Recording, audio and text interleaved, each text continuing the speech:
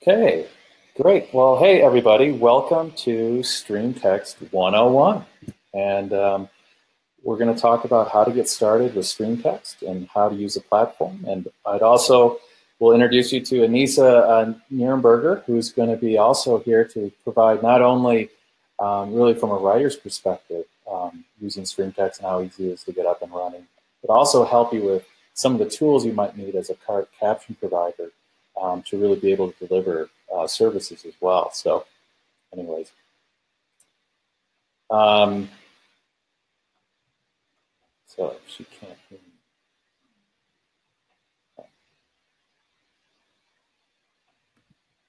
Okay, so here we are. Um, welcome to StreamText 101, how to get started with StreamText. Um, I want to thank you all for coming and viewing this, and I hope you get some information on it. We're really trying to give uh, an intro to how to get up and running on StreamText and provide you some of the tools to do that with. Um, I've also invited Anissa Nierenberger um, as our uh, guest to be on this uh, Facebook session as well because she can not only talk about it from a writer perspective, but she's also going to be able to give you some good insights on what you may need to do from a cart caption provider in order to get up to speed and be able to deliver this type of service. So without any more questions, I'm going to get started right now, and I will pass it over to Anissa and let her talk through a little bit about what we're doing. And I'll actually show you guys here. And then uh, so anyhow, can I'll let Anissa kind of talk through uh, her side, and then uh, we'll come back and start through with a quick demo. Hi, everybody. Hopefully you can see me. I'm joining you from Boise, Idaho, and I'm really glad that you could be with Nick and myself today.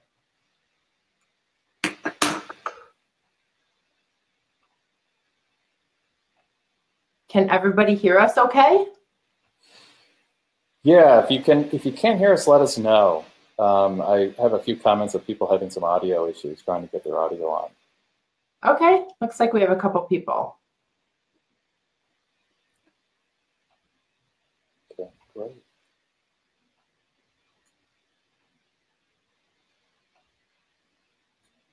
It should be on, so you should be able to hear us okay, but let us know if you can't and we'll try and adjust it. We're using a new platform for this, so it may have some. Okay. All right. Awesome. Excellent.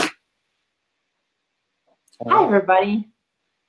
My name is Anissa Nierenberger, and I have been a captioner for 25 years. This year, I'm celebrating 25 years. Uh, and I have used StreamText for over eight years, and I'm happy to be here today to talk with you about StreamText Nick and I are both going to give you really valuable information. So we really hope that you're you're wide-eared and, and ready to learn about StreamText.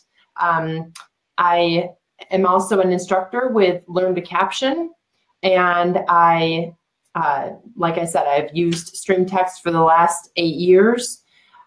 It's my goal to help you come into this market of being a cart captioner. And Nick and I are going to do that today. He is going to talk about the um, technical side of StreamText, and I'm going to talk about the reporter side of StreamText.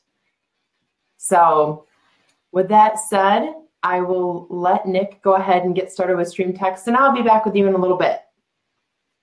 Okay, great. Well, thank you for the intro, and I will probably come back and have more question and answer too at the end. I'm going to go through some of the technical setup stuff you have to do as far as getting uh, StreamText up and running on your computer. I also want to let you know too that our cart provider is having a hard time getting the audio for this. So we will definitely have it posted um, after the fact, and I will upload uh, caption the caption file for the on-demand replay um, for the session as well. Um, hopefully, she can get that figured out quickly. Um, but she's having a problem with her audio. If anyone else is having audio issues, let us know. Um, uh, but I think we're okay. So what I'm going to do is I'm going to go back to my presentation view here and just talk you through the basics of StreamText. It's very easy to do. A lot of people contact me. They're nervous about it. They've wondered, you know, if it's really technical and hard to set up, and it's really not. It requires typically 10 to 15 minutes of total time get you up and running and configured and output. So let me um, let me go in here and actually talk through and walk you through that process. So again, really easy to use. Why do you want to use StreamText? Well, A, it's the number one platform used for remote CART captioning. You want to work out there and work for multiple firms. It's just an easy to use platform and it allows you to log in once and work for everybody. So it's very easy to use. Um, it allows you to do a lot of things. You can output to different devices, different types of platforms, uh, all at the same time. And so it, it, allows you to do multiple things really with the same feed, which makes it easy. And the other part is we're here to help you succeed. We're really partners with our writers. Um, we work hard to deliver just a technical service. We don't deliver uh, captioning service, which allows us really to work closely with you, help you um, be successful. So, installing.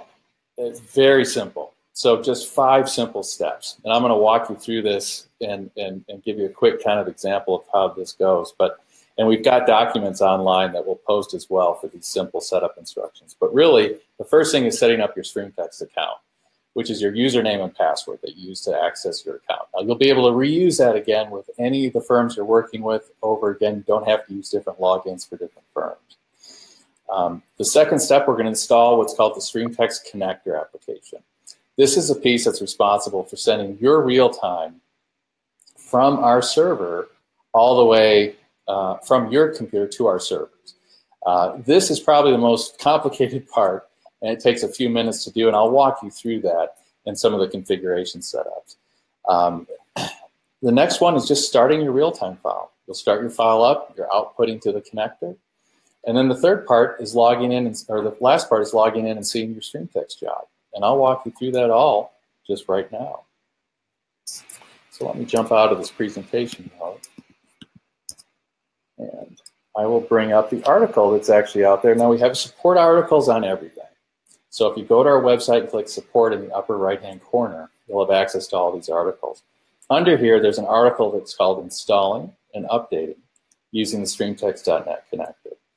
Again, very easy to do. I've got, I'm kind of going to scroll down through it here. Um, but I've got all the steps mapped out, all the screenshots in here in a, in a lot of detail that walks you through it. But it's really very simple. You're really just going to go to the Dropbox link. It's going to download the installation program, and you're just going to open it. And that's going to walk you through the installation wizard. All preset and default. You should just have to hit next and install. And that's it. And once it finishes, it will go ahead and launch and come up. Now, typically, it's going to come up in a configuration. It's a little different than this. I've already installed it. It's going to come up with your connection settings first. It's going to ask you to enter that account information I was telling you about. Once you do that, you go ahead and sign in. The next step is to configure your real-time software to connect to this. Again, I'm not going to go into this in detail, but I'm going to show you it from a high level. We have two options to connect, uh, either outputting via a COM port or accessing it via local TCP. We also have the window option right here, which allows you to actually write into the window and type directly into it. Typically, you're going to be using the COM port option. And again, I'll, i have specifics on our on that support section for different writing platforms. But what you're going to be doing is setting up typically an ASCII or ANSI output. It's going to output to that COM port. In this case, I have COM port 10 identified as my COM port. That's all there is to it. You hit connect and write. You'll start your real-time file, and you'll be ready sending real-time to your job. The only thing you have to do after that is logging into your account I've already logged in here. And you'll come into your dashboard. This is our current dashboard for today, and you can actually see I've got the cart provider's job uh, listed up here going. Um, but all you need to do to start a job and to broadcast your real time is very easy. Just click on Schedule Event, and it brings up a form. Now, again, I talked about StreamText being able to do a lot of things. But really, there's just a few fields you need to fill in to do a basic cart job. And it's all on this basics tab. And the event name is probably the most important. And this can be anything you'd like as long as you don't use any spaces in the name. And this is really your stream identifier. And so I'm going to enter an event name. I'm going to have this event start right away. You can schedule jobs to start in the future. You'll set a duration for how long you think you're going to be using the event. And you'll pick a writer.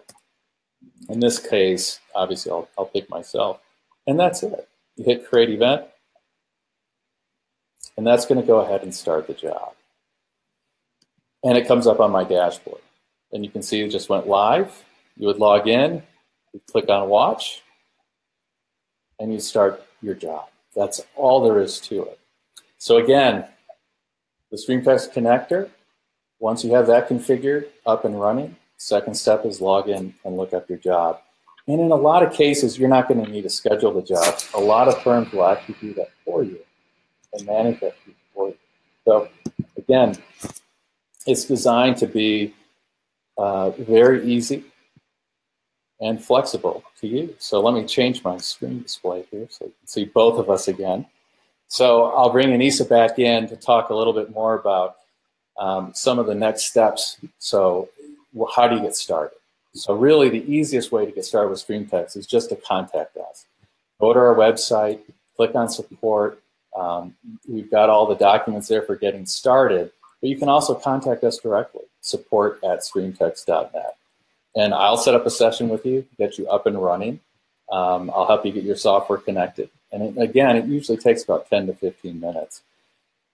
My part's probably the easy part. You know, I get a lot of questions too about people coming in and being kind of inundated with, um, you know, can I do cart captioning if you've, if you've been a court reporter and you're trying to get into this type of work? Um, that's really where someone like Anissa is able to really help you um, get the, your theory down and get your approach right so you're delivering the product uh, that the firms are looking for. So I'll have Anissa talk a little bit more about some of her perspectives on that and getting up and running, but that's really all there is here. And we're here to help. So if you need any help at all, um, we're always here to help and I'll pass it over to Anissa. Thanks, Nick. As Nick said, support is only a quick phone call or email away.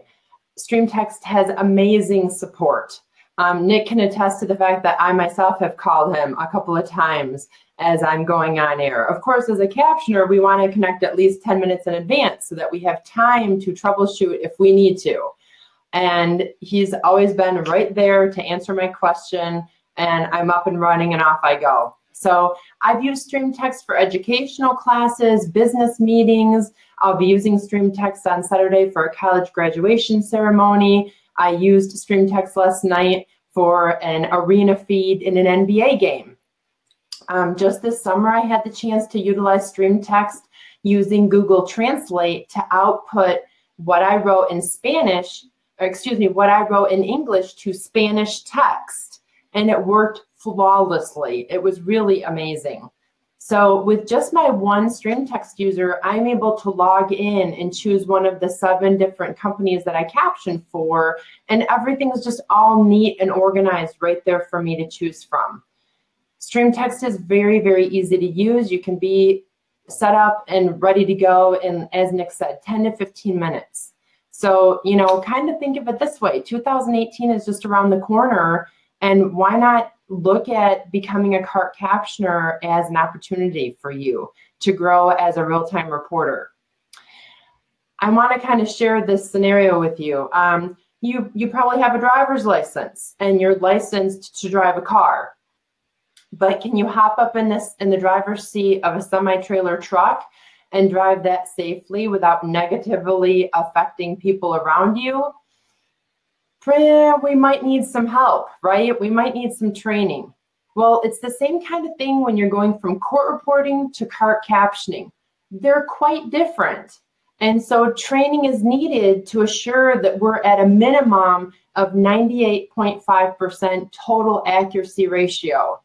This isn't the number that your CAT software says. So some of you who, are, who have obtained the CRC, um, that's a fabulous start. It doesn't necessarily mean you can be a captioner because that test is only at a 96% level.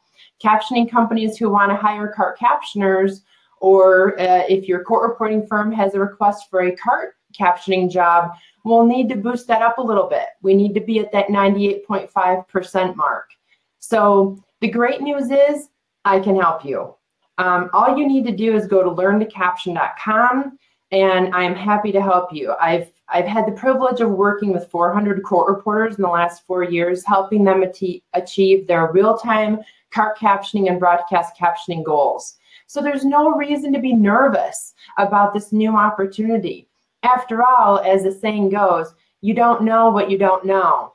And so we're we're just this one quick stop for you to learn what you don't know so that you can up your ante a little bit in the real-time uh, writing profession and start doing something that maybe you've always been curious about. I've really been curious about CART captioning and broadcast captioning. How do I get from point A to point B? We're happy to help you. LearnToCaption.com and um, I'm happy to take you from where you are now to wherever it is you want to go.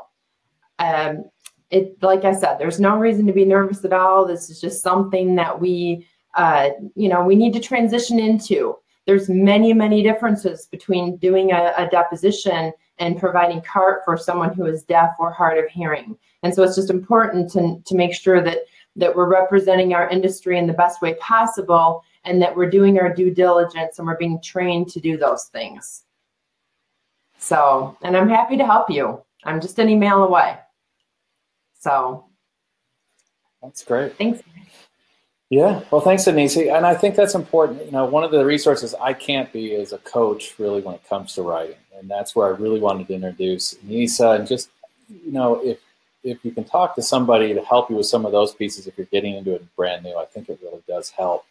Um, just smooth the transition. Obviously, if you're already um, you know, in the industry and you've been doing it for a while, it's it's not difficult to get into. But it also helps to know if you do need brush, you need a brush up, or if you need some help with your skills to have you know resources like that. And I've had, and I've found that that's been harder and harder to come across as schools have been you know changing kind of their formats. They've been shrinking in numbers. So um, I think having that resource available is good. I'm always here to help too. So um, as far as getting you set up and running, um, uh, you know, we'll set up a time to do that. Again, 10 to 15 minutes, you'll be up and going. Um, but I'm also here during uh, live sessions as well. If you have a problem with a live event, you can't get on it, we'll make sure you get on that event. Um, we're here to make sure you're successful. That's really our 100% of our job and to give you the tools to do that. So, um, hey, I want to thank you all for taking the time to join us and, and get an overview for StreamText, just how easy it is to install and update. Um, we definitely are open for some question and answer. I don't know if you want to post some questions um, and let us know if you've got any. We can definitely answer a few of those um, if you've got any offhand. I'm able to actually see the, the comments, so if you do have any, just feel free to post them in there. Um, and I'll be able to follow up. Again, if you need to contact us, in any way, feel free to contact, you know, go to StreamText support at streamtext.net or through Facebook, and we can definitely get you connected to the right people and get you up and running as, uh, as soon as possible. So, um, but anyways, I think we've kind of gone through all of it here. I don't know if Anissa has anything else to add at the end of it, but I appreciate Anissa for you taking the time to come in and just kind of give an overview from more of a writer's perspective too. Um, and it's all about really focusing on you and making you guys successful. So, anyways, I appreciate your time. And uh, feel free to comment. Let us know if you've got any more questions. We'll definitely be setting up more of these uh, sessions um, in the coming weeks and months. Thank you very much.